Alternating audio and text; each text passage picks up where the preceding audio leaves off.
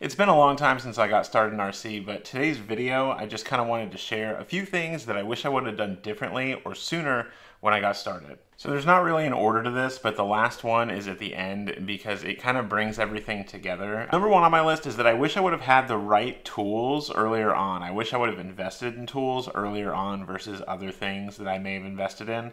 Um, basically, I was just using the ready to run tools from kits and kind of just guessing what was going to go where and what was going to fit. I stripped a lot of screws. I used a lot of hardware store Allen keys and things that didn't really get where they needed to be. I busted my knuckles more often than I should, and I just didn't have that good of an experience wrenching. I liked it, but it was a lot harder than it needed to be because I didn't really have the right tools. Okay, so for number two, uh, it's kind of like number one in a way, but I wish I would have invested in gear, like better gear, earlier on. So when I say gear, I mean like transmitter, radio gear, uh, chargers, things like that. Um, I was using the bottom of the barrel charger for the longest time, so I wasn't able to really take good care of my batteries. And then as far as radio gear goes, I was using ready to run transmitters for like way too long. I had like velcroed my receivers so that I could take them from one rig to another. So like I would be building kits and then I would take like my TQI setup and I would put it over in the kit whenever I wanted to run that, and then I'd move it back to my Stampede or whatever whenever I wanted to run that. And honestly, that was just not the way to go. I didn't learn about anything that I needed to didn't learn about charging rates and how to take care of batteries. I didn't learn about radio tuning or any of that kind of stuff. I didn't know what dual rates were, expo, any of that cool kind of stuff that a good radio provides you. So yeah, I definitely wish I would have invested in better gear earlier on because I would have learned a lot more and I would have been able to better take care of my stuff. Number three on my list is that I wish I would have upgraded with a purpose. So I would just upgrade my E-Maxx just to upgrade it. Like I would just wanted to replace the stock parts with something else it seemed like. And it turned out that I was wasting a ton of money that I could have spent on literally anything else. Uh, I was buying upgrades, obviously not radio gear or anything important, um, just to bling out the truck and make it cooler to me but ultimately, I think I was hurting the performance in some way or another, and I didn't really learn like anything from it. I was just learning how to take apart, put back together the E-Maxx.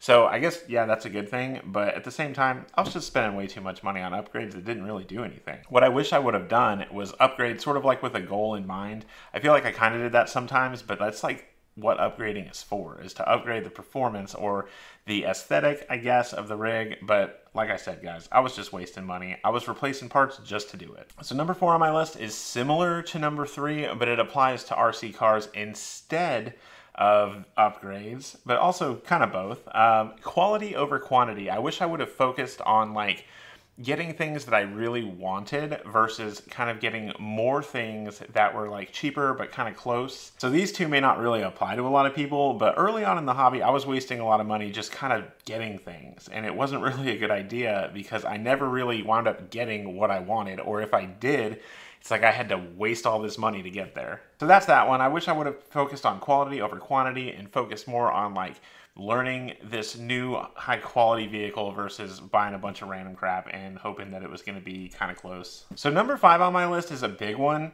And this one kind of is like ramping into the most importance. Um, I wish I would have built a kit sooner. I wish I would have built a kit either as my first RC car or as like my second one. The reason that I wish I would have built a kit so much sooner is that after having built a kit, I've learned that like the experience is a lot more intimate and a lot more personal. You have to do this whole big project before you actually get to run it. Building a kit is just a lot more of a personal and curated experience. You get to select a lot of your gear yourself. Like you can pick a high quality servo versus having this ready to run servo that you're going to replace later.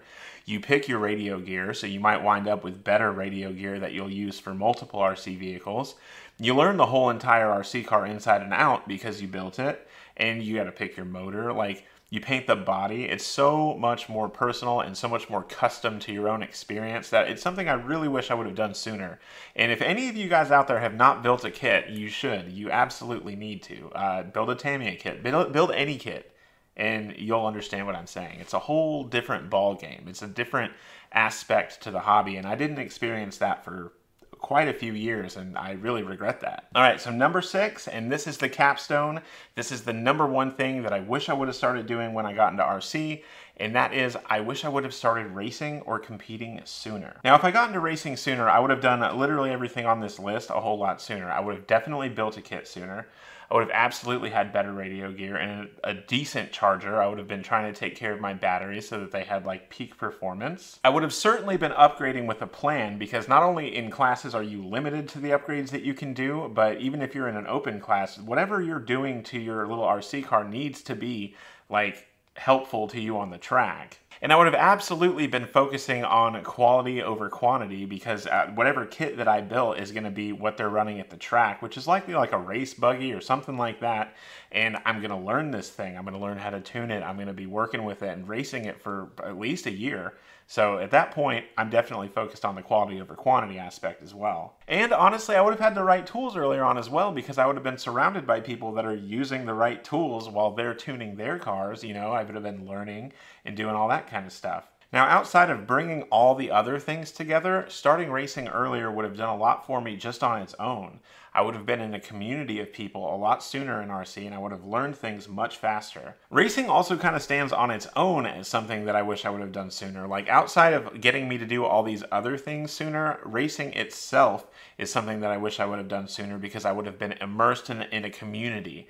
I would have been learning about RC cars as a whole a lot faster than I was on my own with my E-Maxx and all my bashers. Not to say that there's anything wrong with bashing, but like racing gives you a different aspect to the hobby that is something I just really wish I would have had sooner. And like I said, the community, the higher end kits, the smart upgrading, and all of these things it just would have been a lot nicer sooner in the hobby for me. So if you've never done any racing or comp crawling or any kind of competing in RC, I would actually suggest that you go to your local club or your local wherever and try it out because it's a lot of fun and it'll change the hobby for you. It's definitely a different dynamic and it's a lot of fun. Anyway, guys, that was the six biggest things that I wish I would have done when I started the hobby. Uh, if there's anything that you wish you would have done when you started, leave it in the comments because I feel like we all probably have different things here and there that we wish we would have either done or known before we got into RC. Anyway, with that being said, if you like this video, give me a like. And if you like this type of content, you should subscribe. I try to post a video like this at least once a week. It's always RC related. It's a lot of fun. And um, yeah, with that being said, this is a video and we'll catch you in the next one.